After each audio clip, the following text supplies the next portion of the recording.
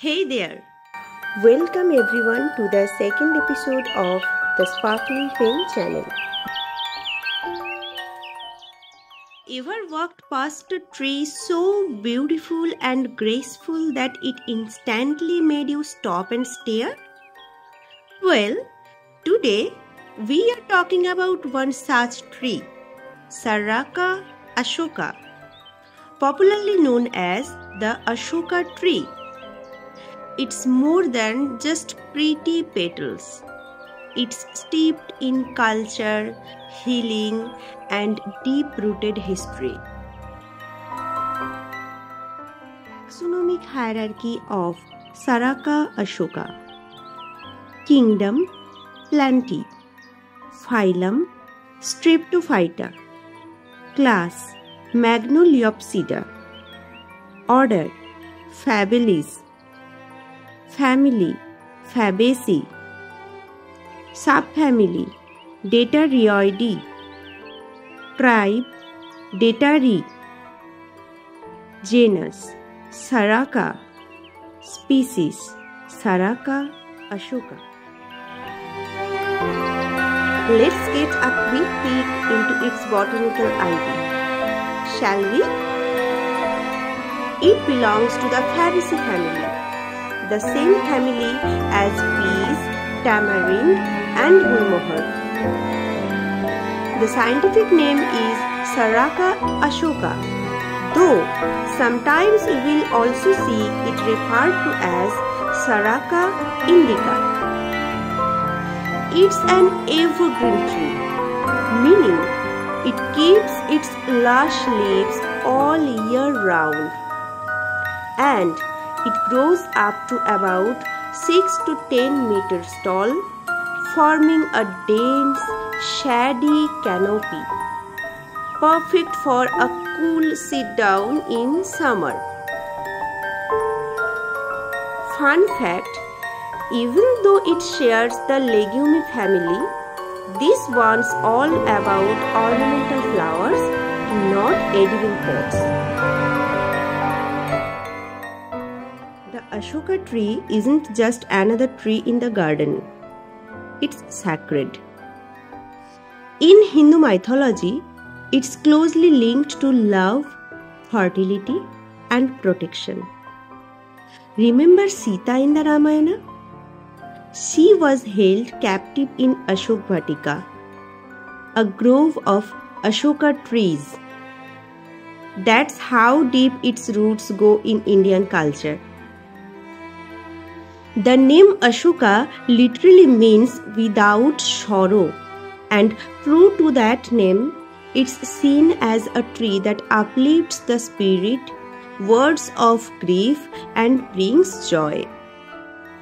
In many Indian households, especially during Chaitra Navratri, women pray beneath the Ashoka tree for fertility and marital bliss.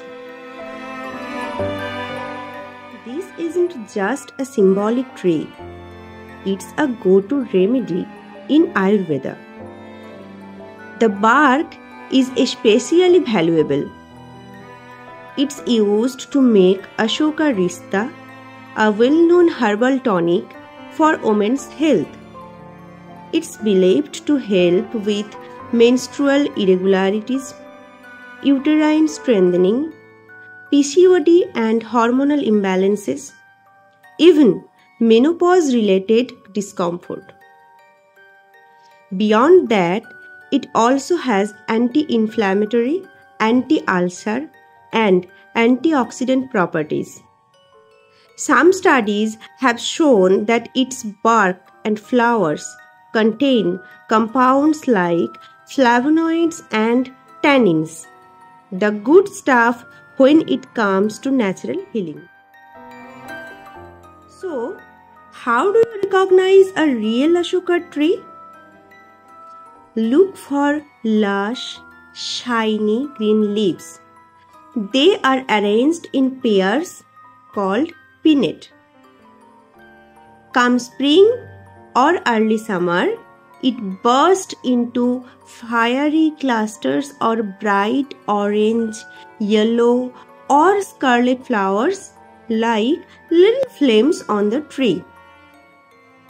Its bark is dark grayish brown and relatively smooth.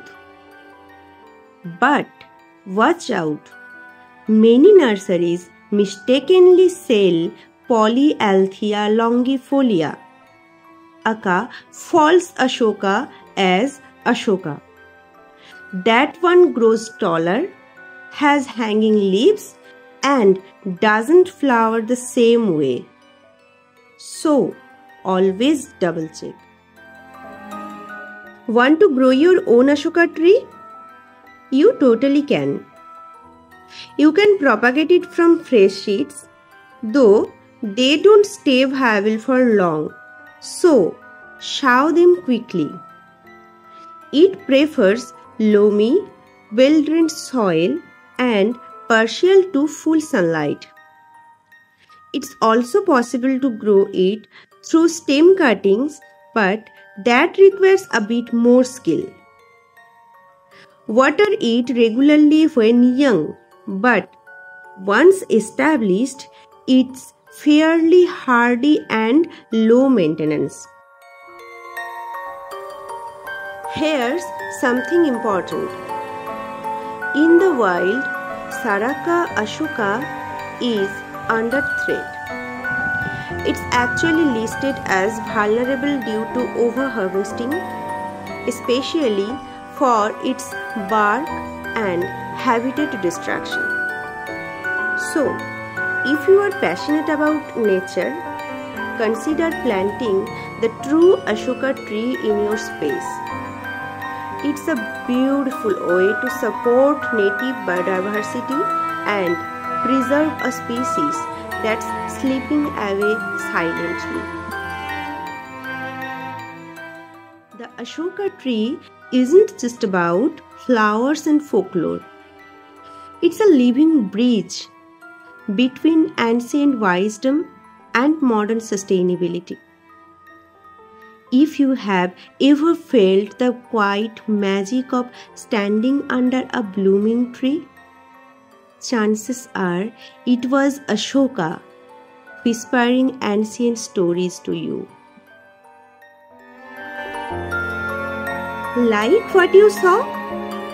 Hit that like button, drop a comment if you have ever seen an Ashoka tree near you, and Subscribe for more green journeys into India's botanical wonders.